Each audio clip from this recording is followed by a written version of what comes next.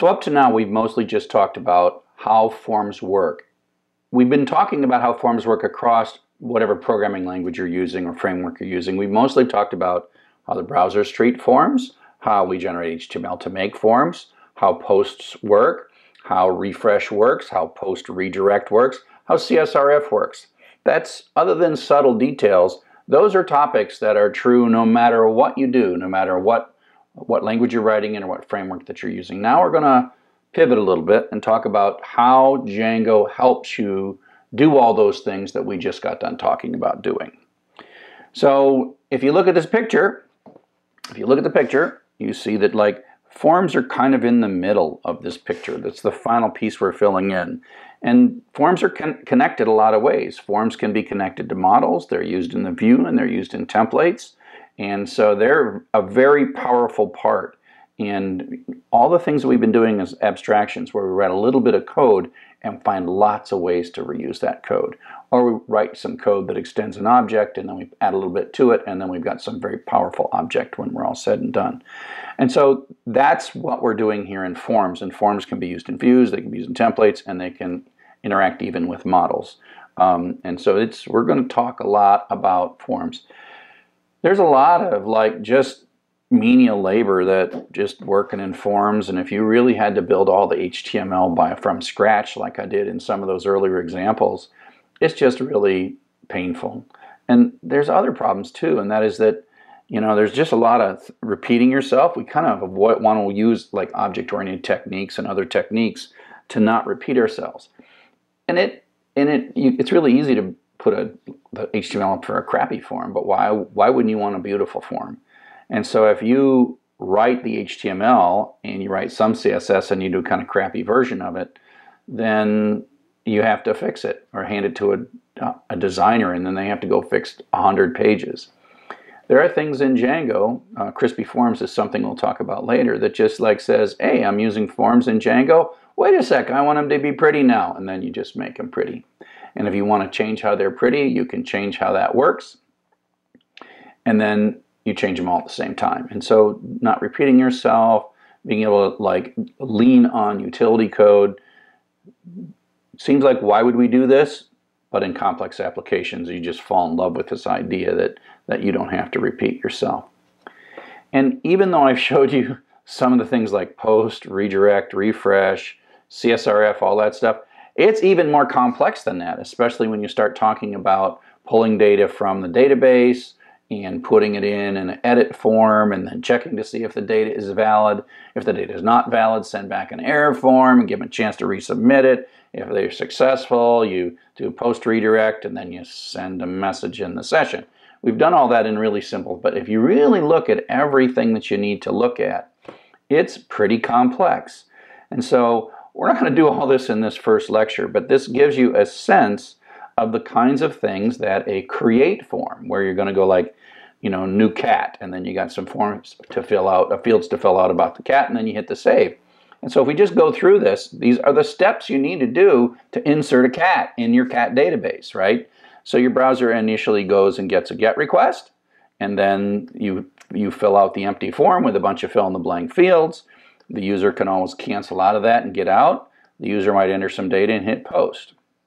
Now the problem is, what if you have some rules about the data, such as this is required, that has to be at least five characters, etc. You have to then send an, a form back with that data to let them fix it and resubmit it again. Or if it's good, you go ahead and store the data in the database, but then we have to put some kind of a success message, like in a session or something, and then send a redirect out, and then the browser immediately comes back and gets the redirect URL, which pulls the message out, sends the page, and sends the success. And so we've done parts of this already, right? We've done parts of this already. The, the big part we haven't done is kind of like this middle part here where we're like validating the data and have this error, error retry loop that we put the user back in the loop and give them another chance. Now that's the create form. The edit process where you're pulling in an existing cat and you're going to edit their fields is even more complex. You know you you go load up a cat but you might have an error page because you don't get the you don't get the you they're looking for a cat that didn't exist on their database. You send out the form with the old data they might leave they might edit it they might come back they might validate the data and get an error, then they have to fix the data. They got to go around here until, okay, we got some valid data, and then you store the data in the database, send out a, put a message in a session, send out a redirect to a success URL, and that success URL, you put out the message and, and say yay. So that's, that's complex too, and, uh, and we're going to figure that out. Delete is not as simple as you might seem. The, the problem with deleting things is that you can't delete with a GET request. So usually you have to go navigate, it, like you see a little delete button, you click on it and you go to a delete page. It's going to load the data that you want to delete so you can build a confirmation page. Confirmation pages turn out to be really important because they're also our tricky way to convert a GET to a POST. But if they're asking for the wrong data, we have to send an error message. Otherwise, we send a conversion a confirmation form that says, are you sure you want to delete this? That's both nice for the user to give a confirmation, but it also then turns this into a form. And of course, they can leave with a cancel, but if they click on yes, that turns into a post and it has the key. So the first thing it does is it has to load the data again from the model. And then if that data is not there, they got the wrong key, then you send an error page out. And if, the, if you got the right key and the, the user has permission to delete the data, then you go talk to the model and you delete the thing, right? Then you put a congratulations on your deletion in a session or something. Then go with a redirect because you can't respond with a 200. You got to respond with a 302. And then the browser immediately does a get a success URL, pulls the message out of session, makes a success page with the message. Now we're going to cover this a bunch of times, so you don't have to get this the first time. But I just am telling you that forms are complex. And what's cool is Django form objects that we're going to create act like glue. They can generate the HTML, they allow for a consistent look and feel, and they allow for you to change the look and feel.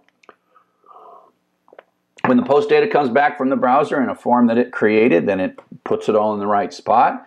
It validates the data based on a set of rules that you say, like this has to be this kind of a thing and that kind of a thing, or a date or a character or an integer or a floating point. Whatever it is the rules are, that's all done for you in Django. And if something goes wrong, then it hands you an error form that you can send right back to the user. It really greatly, and then of course, once it's validated, it moves it into a model and then actually can even do the database store automatically. So the form is like this glue thing that sort of talks to templates, it talks to browsers, it reads data from browsers, it's like stuff in.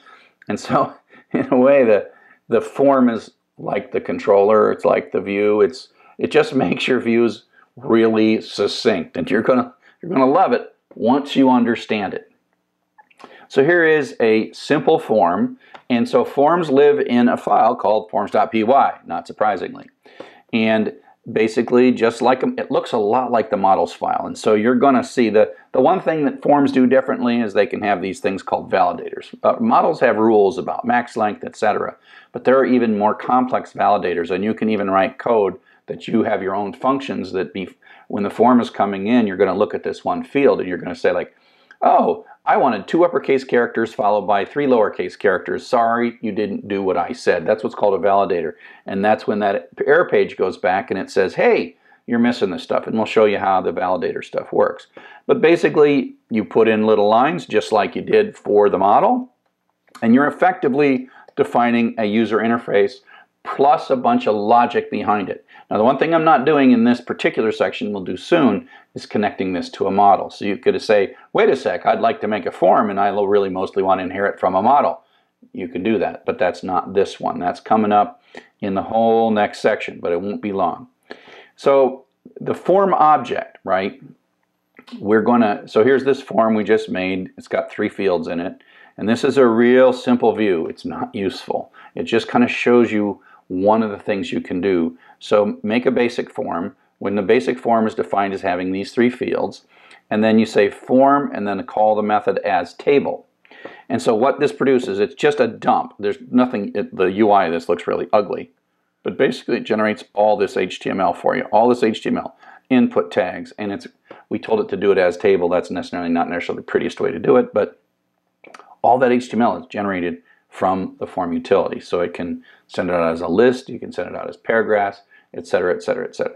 And so this is just to show you kind of the dump. if you go to this URL, do a view source on it so you see this stuff in here. So that you define a form object and one of the things you can do is make me HTML. And this is not a good example. We'll come up in a bit with a better example. The better example, of course, is to use it in a template.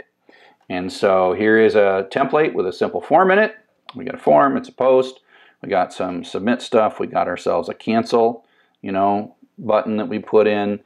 And we got a CSRF token. And we're going to use that form as table. And we're going to surround it by a table tag so that it looks a lot prettier. And so this is a far more typical way of doing it. That first one was just to dump it.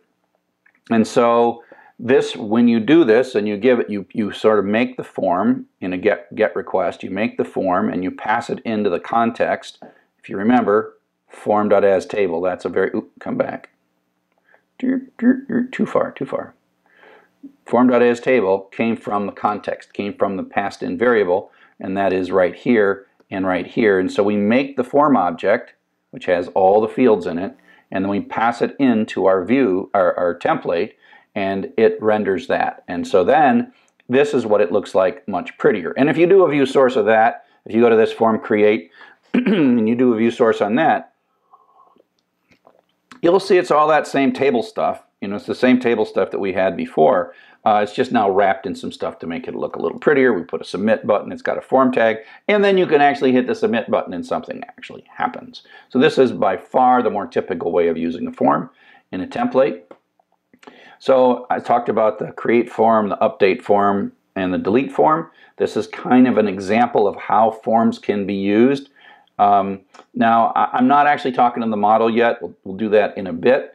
Um, so I'm just going to pretend that we have some old data. And so this normally would come from the model. This old data, title, mileage, purchase date, that would come from the model normally. But for now, we're just going to like make it up. And so then you basically start a form and you pass this old data in, in as the constructor. That's a constructor for a basic form from the basic form class, pass in old data and give me back the form, uh, give me back an object of basic of type basic form and I'm going to have it in the variable form and then I'm going to pass it into context.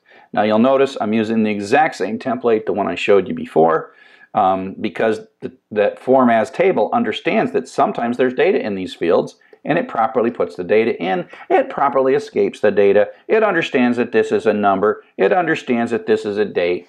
It's got all that stuff all figured out, right? And so this is how it works is you just somehow get your hands on key value pairs of the old data, you pass it into the constructor, and now you render the form, and the forms library takes care of putting in all that old data. Believe you me, you're probably glad I'm not showing you how to do, you know, HTML encode and all these things and when you do encode, but this is a little different because it's inside of an attribute. You don't want to know that because you just are going to use form as table and it's got all the rules figured out. This is hundreds of lines of code that you're not writing. So up next we're going to talk about the validation part. So that's actually what happens when we receive data back from the browser.